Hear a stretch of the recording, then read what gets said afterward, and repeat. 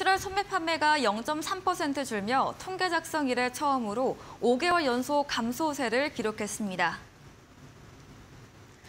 통계청이 오늘 발표한 7월 산업활동 동향에 따르면 지난달 소매 판매는 화장품, 음식료품, 가전제품 등의 판매가 줄며 0.3% 감소하는 것으로 나타났습니다.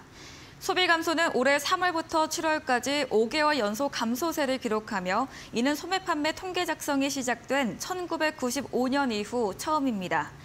7월 전 산업 생산 지수는 117.9로 전월보다 0.1% 감소했습니다.